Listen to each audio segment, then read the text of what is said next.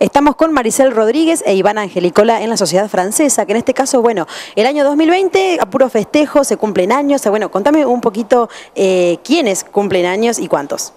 Bueno, es el aniversario del taller de la refundación del Teatro del Salto, en realidad, 25 años. Y nosotros como espacio de taller de teatro para niños y adolescentes cumplimos 10 años. La verdad es que estamos muy contentas eh, lo decimos cuando nosotros lo imaginamos primero como un sueño, empezamos a darle forma, nos impulsaron de alguna manera que éramos las personas que teníamos que, llevar adelante este taller y empezamos con mucha alegría, con muchísimas expectativas y la verdad es que se fueron superando año a año.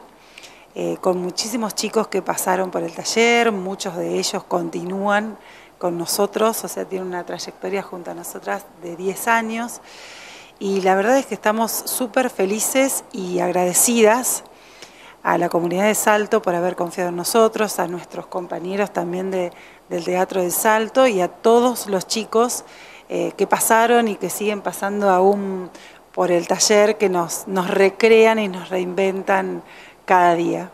¿Cómo recordás los primeros pasos de ustedes? ¿Cómo los recuerdan? Digo, ¿dónde estaban? ¿Qué estaban haciendo? Eh, ¿Dónde arrancaron las primeras clases, tal vez? Bueno, comenzamos en el Club Compañía, teníamos eh, el, teatro en ese momento en el club y, comenzamos pensando un lugar eh, no solo de taller, de juegos, de Em, enseñanza de, técnicas de teatro, sino un lugar de, recreación, de, que los chicos puedan venir, puedan expresar, puedan jugar y al, mismo tiempo eh, crear personajes, imaginar mundos. Eh, eh, la verdad que siempre decimos que el teatro es eso, es el trabajo en equipo, el, transmitir por ahí valores de solidaridad, de, empatía, de ponerse en el lugar del otro y así se van construyendo grupos muy lindos que después llegan a, formar o a, producir eh, muchos proyectos que, tienen que ver con, con, la salida a la comunidad. Por ejemplo, en los talleres de adolescentes hemos hecho algunas obras que, que fueron dándose en las escuelas y que tenían que ver con, con lo que los jóvenes querían contar y expresar. Así que, bueno, felices, felices por haber comenzado allá en el Club Compañía y hoy estar en la sociedad francesa en un espacio muy cuidado para, para los chicos. ¿Estos 10 años fueron 10 años ininterrumpidos? Sí, 10 años ininterrumpidos, sí. Bueno, excelente, entonces felicitaciones. Chicas, cuéntenme un poquito del taller para este 2020, cómo se están preparando, cómo arrancaron las inscripciones, si ya arrancaron. Bueno, las inscripciones las arrancamos hoy y este, vamos a estar este, todos los días, martes y jueves eh, de 18 a 20 horas acá en la Sociedad Francesa, eh, reinscribiendo a los alumnos que ya teníamos y por supuesto con las puertas abiertas para recibir a todos aquellos que quieran comenzar a conocer esta actividad.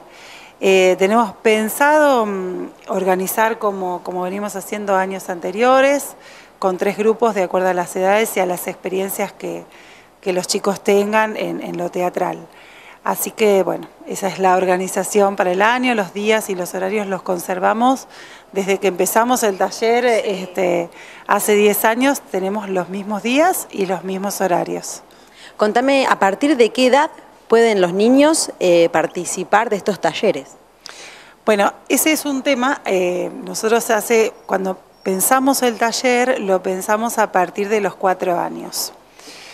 Eh, después la demanda se hizo un poquito más grande y los papás de los nenes de tres años nos preguntaban por qué no, por qué no, y la verdad que también nos hicimos la pregunta nosotras, ¿por qué no? Digamos, este, entonces, bueno, ampliamos la, cobertura, digamos, de, atención y, del espacio del taller desde los tres años.